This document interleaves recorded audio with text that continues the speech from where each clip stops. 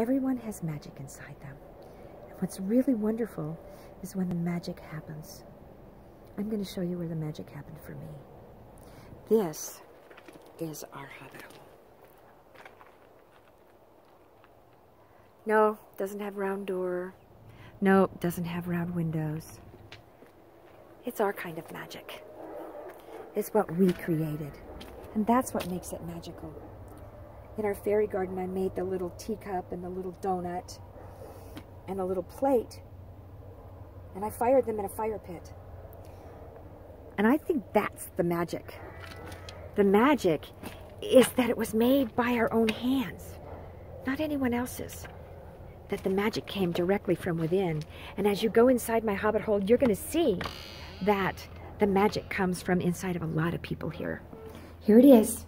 This is our hobbit hole.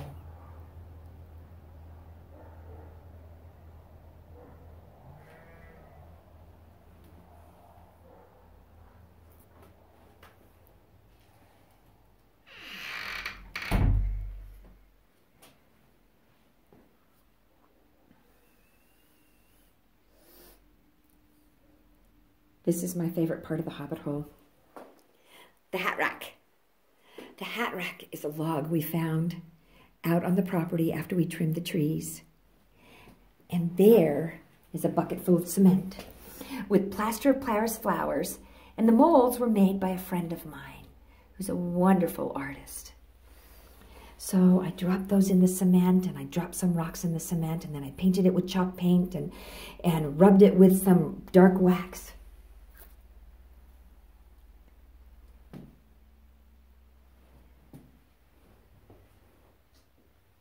This I blacksmithed myself. One of my first attempts. Not perfect. Nothing in here is perfect. It's one of the things that I love. The, the picture here was made by my daughter. And of course I crocheted the doily that it sits on. The bed was made by Mike and I. I did the cross stitch and framed it with old barnwood found here on our property. Here's my first attempt at a willow chair. It is strong enough to sit on. This also is my first attempt at a hutch for the dishes. Not a square corner in it. And I love that.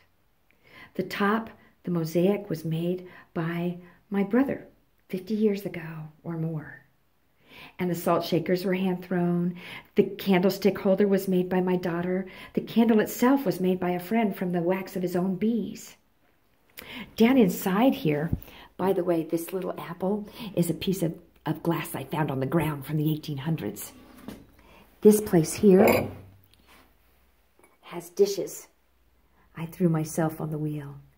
They're all just a little different because I'm not an expert but I love each one of them. I love that they were made with my spirit. And I love that everything here has the spirit of the people who've touched them. The fireplace was done stone by stone by myself. Stenciled on the floor. The rug is the wool of Pretty and Peace, and it's felted. The chairs here are made with no hand tools, with no power tools, only with hand tools by Mike and I. The table is an old apple tree that the beavers chewed down, and we didn't want to lose everything. We didn't want to lose the memory of that tree. There's an old ash tree that got trimmed. And this, for me, is quite magical. Course, the handle here is blacksmithed by myself. Underneath, we have a tank of water because this sink works.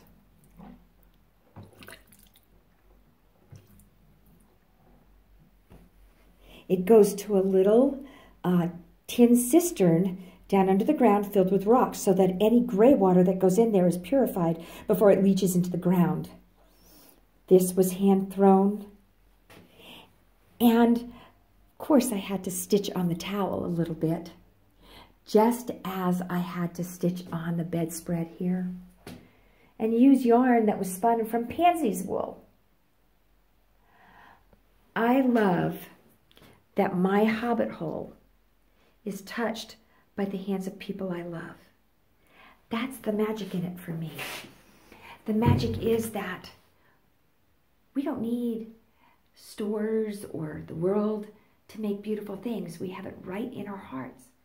We don't need anyone to tell us what's beautiful and what's not beautiful. As long as we are creating, we will reveal the magic within us.